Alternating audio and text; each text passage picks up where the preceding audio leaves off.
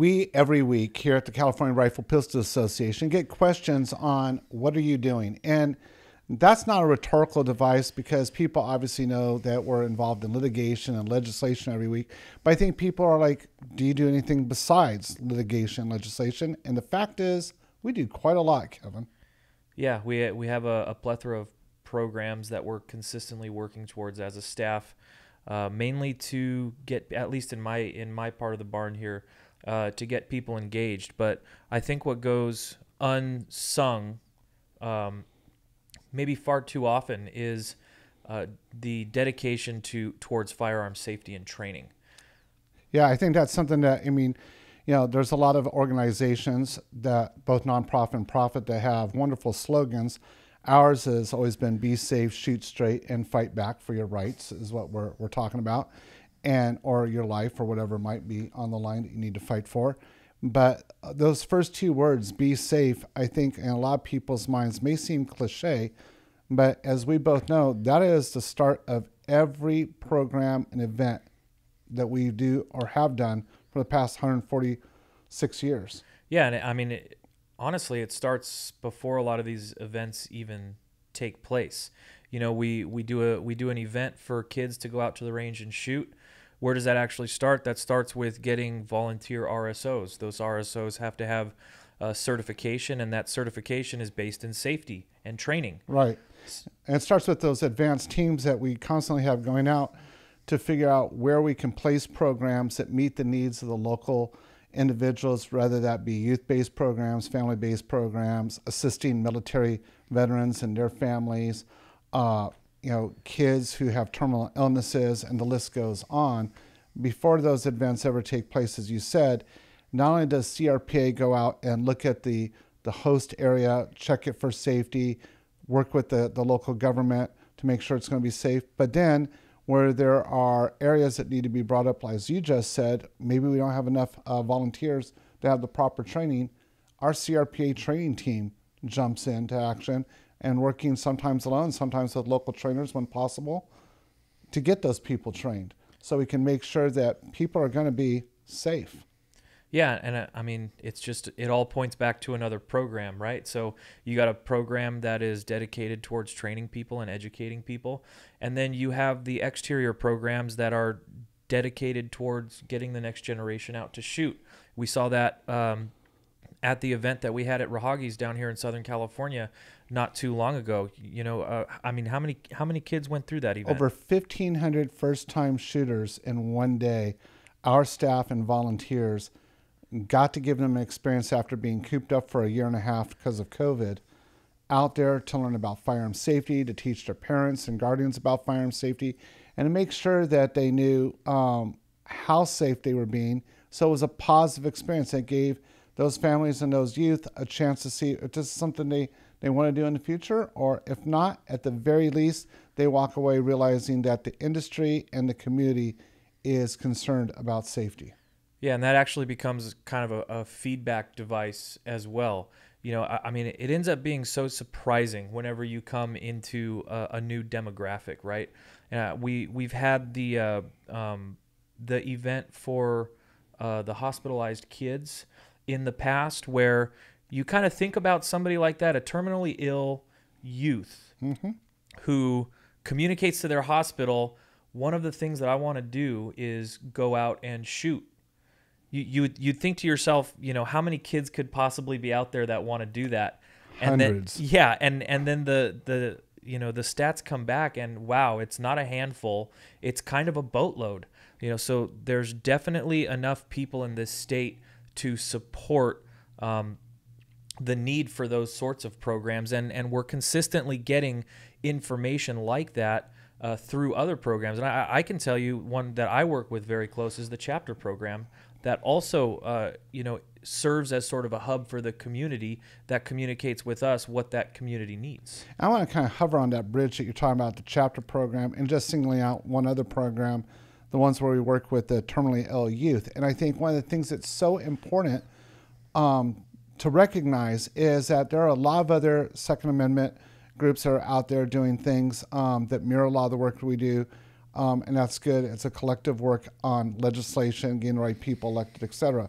But one of the things I'm proud to work for this organization is that we take the entire expanse of the Second Amendment, which includes helping people exercise their rights under that, and one of those being the right to go out and shoot and do family activities like this. And I think, you know, what you do in your chapter program, beyond all the wonderful things in legislation, is that brings us volunteers into a local area that they know each other, they're working together, they're excited, they're um, impassioned, and they go and meet with those parents because, as we know, when we were working with the terminally ill kids at that last event, it wasn't just the 60 youth that were they're dying, and and I think we we need to really recognize something. You know, um, when you get to be my age or older, often you start thinking about the quote bucket list, but you kind of have a, a laissez-faire attitude about some of the items on. Those kids, as we learned, I mean, it was tear jerking. Sometimes only have a eight to twelve week period in that last year of their life to execute whatever those bucket list items are, and to find that so many of them um, want to be in the outdoors with their family, learning how to shoot, fish, hunt, whatever that might be, is amazing to me.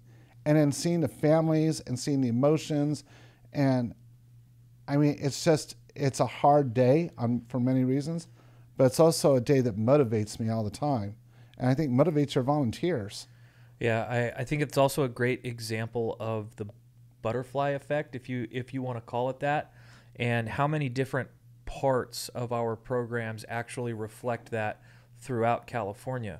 I mean, when you want to when you talk about hunting, there's some crazy science coming out these days. Yeah. You know, you know something that um, is being more so and more so proven to help with autoimmune diseases is um, game meat. Game meat. Right. Right. So you know we're we're out here promoting something like this that eventually uh, can lead to game meat going toward hospitalized people for autoimmune diseases. So the the effects are real, and the effects can actually branch out uh, a long way. And you know, we also see a lot of a lot of fires in California. When you want to talk about uh, maybe how the government has mismanaged uh, some of the things associated with that fire, um, conservation efforts. Uh, you know that derive from hunting tags mm-hmm. um, is also a real thing. There is not one uh, program or nonprofit out there that donates more money toward conservation efforts in California than the hunting, the hunting community. community. Yeah, and I think it's important too because one of the questions we get asked all the time about the CRP is, well, who do you work with? And that question really should be flipped to who don't you work with, in the sense that you know you named a big organization to state from you know Rocky Mountain Elk, which is a national-based organization like Ducks Unlimited. Um, you know, just to name a couple of the ones. I'm, you know, locally, you know, Cal Waterfowl that deals with waterfowl, obviously here in the state. Uh, the California Deer Association. You you have regional areas like the Mendocino Blacktail Deer Association. You, you know, you go up and down the state, Safari Club International, and it's the different chapters. The CRP is and continues to work with all those groups to try to execute programs, to have regulatory policies, everything that not just protects but expands opportunities. And if you look, despite the mismanagement that you could say by the state on protecting wildlands and things from fires and other natural occurrences, the people going back out and literally doing the boots on the ground work is our community. And CRP is constantly working with all those partners and the Department of Fish and Wildlife and others to get that executed. And I think there's a wonderful legacy that we're seeing being developed. Well, and it's also necessary. I mean, we're also creating coalitions, and I mean, chapters you can put in this category, but if you have such a daunting task as the Second Amendment in California, which, by the way, I mean, demographically, California is the most diverse and populous demographic in the entire yep. uh, country. So it's almost like we're dealing with several states. But uh, if you are going to take that on, you're going to have to specialize in uh, in partnerships with specific people to get specific things done. You know, we we constantly tell people that any sort of attack on the second on the Second Amendment, even if it's not something that you are uh, you, you know necessarily involved with, is an attack on you because it's something that erodes. And I definitely hold that belief personally. So you know that's really the only way that you can be efficient and get all of this stuff done is to have those partnerships to have those coalitions to specialize in specific things to get to get specific things done I think it's important too that um, because we're a California-based organization, the oldest one on the Second Amendment conservation estate, it's Californians working for Californians. And while that sounds really simplistic, I think that's important because a lot of organizations that try to do stuff for the Second Amendment, for any of the different derivatives that come from that, are organizations that don't have a lot of boots on the ground here in the state. They, they, they do an amazing job considering some of the limitations that are placed on them. But CRPA, as you said, has adapted to understand that each of the state parts of the state are like sometimes their own state. You know, how you help 2A people that live in the Silicon Valley is slightly different than how you help them in the Kern Valley. Slightly different how you help them up in, you know, the Shasta area or in the LA basin, et cetera. I mean, the list goes on. And I think that's one of the things that over, you know, almost a century and a half, we've developed those skill sets, that history and that understanding of those different areas, and are able to tailor the, the responses. when and coincidentally we've developed those assets as an organization through our programs. We're consistently getting feedback from these specific areas through our chapter program through our business affiliate program that are consistently feeding us information on you know how how's it going this month? Mm-hmm. What do you got going on local ordinances? You know how how how does your demographic you know feel they're being represented by their elected officials? These are all important you know questions that need to be asked and it's a lot of intake. But if we have people from everywhere you know feeding it to us it, it does end up making us um, you know it gives us that wisdom a lot lot quicker. I think innovation is one of the other things I give CRPA um, credit for because we've become incredibly innovative in helping people who have been in programs for 10, 20, 30, 40 years adapt to new programs that are coming up, new new takes on them, new twists on them. And I really challenge you know um, all of our members and those that are checking this video out to to really think about you know um, Kevin. You know I'm older than you, obviously, but I remember when I was a kid thinking, oh my God, if we could just have more than 13 channels on the television set here in LA, I would I would never be bored. Well, now there's like hundreds of channels. There's still boredom times. And, and what I've noticed is, you know, a lot of TV shows are now under third rendition. You know, so it's like, I, just watched the other day, Walker, Texas Ranger. I mean, to me, that was so iconic when it first came out with Chuck Norris. Now there's a new guy doing it. And, and that's great because those innovations allow for the story to be changed. Those same types of innovative changes are happening in our community. And I love the fact that we're not just cutting edge, but often CRP is on the bleeding edge of that movement. Well, yeah, and that actually feeds into uh, um, you know the political debate in general.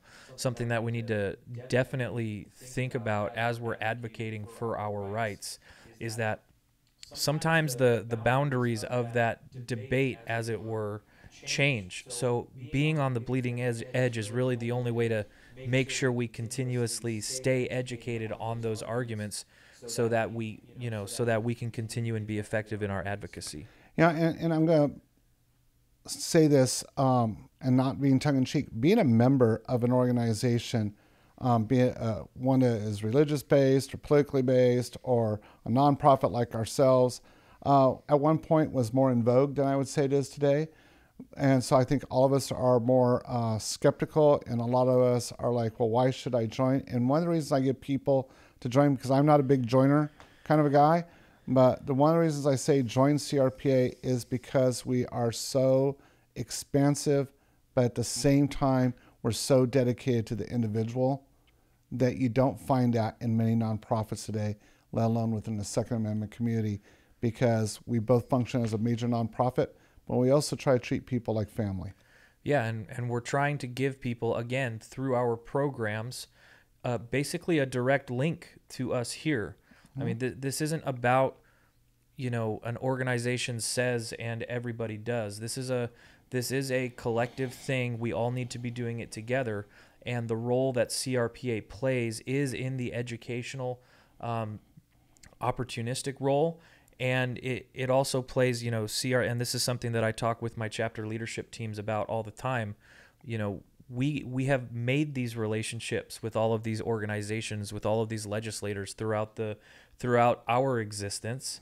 And there are ways that we can ease the path. You know we can we can charge ahead and create the path for people to walk through. So if there's a process that we can create that's going to make it easier for you to reach out to your legislator or for you to get the right person on your city council we're going to do it and we're going to be there you know a, as long as they are promoting the the second amendment values that that we hold and we're going to continue working to do that because ultimately that's how you create the change. Yeah, the, the last thing we wanted to handle today was we've been asked this question um, during the past 18 months of COVID. You know, a lot of organizations locked down. What did you do being the CRPA? And, you know, that is a question that I love because it's fun to answer. We didn't shut down, Kevin. No, we didn't. We found new creative ways to keep going and actually throttled up, not down when everybody else was shutting down, mothballing, we, we had fellow um, friends and other partnership organizations that let go of over half their staff during that time period and now trying to rebuild that block of knowledge base, which is going to take a couple of years for them to do. We didn't do that. No, and, and we were actually on the front lines in a lot of the a lot of the debate that was happening. I, I mean, when the whole debate about whether gun stores should be considered um, essential businesses or not. There was CRPA filing letters, um, you know, to keep the gun stores open. And let's hang out there. I mean, our team divided fairly effectively on people in local communities working with those gun stores. I know both you and uh, Roy Griffith were working on a lot of the state issues. I know Roy and I um, started working. I was actually working with people at the White House to try to keep those things open. I mean, we took this from the lowest level of government to the feds. And we're highly successful in keeping those stores and ranges open and then making sure we could provide emergency training for range safety officers when a lot of the, the current field had to be sequestered because of health reasons. We were able to step in on that. And, you know, I know there's a lot of fear because, oh no, we're going into the winter and, you know, there's this, these new variants and maybe we're going to do this again. And I have zero fear over that because I'm like, we did really well. Yeah, I mean, changes had to be made. Yeah. But we were fortunate enough to have a team in place and, uh, you know, a membership base and a volunteer base that adapted quickly. And yeah, we definitely made that change work for us. Yeah. And so I want all of you to be reassured that no matter what gets thrown at this organization, we're not retreating, we're not running unless it's directly into the battle. That's the only time you're going to see us run is straightforward.